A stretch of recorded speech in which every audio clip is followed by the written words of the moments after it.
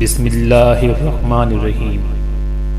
अल्लाह का कुरान इंसान के आमाल।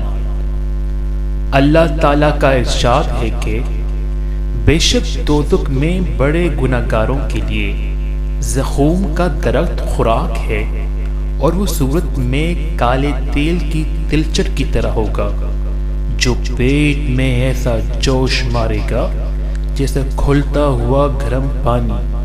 और फरिश्तों को हुक्म होगा कि इस मुजरिम को पकड़ो और घसीटते हुए दोजों के बीचों बीच धकेल दो और उसके सर पर तकलीफ़ देने वाला गर्म पानी छोड़ दो और दिली अजियत पहुँचाने के लिए कहा जाएगा, ले, चक ले।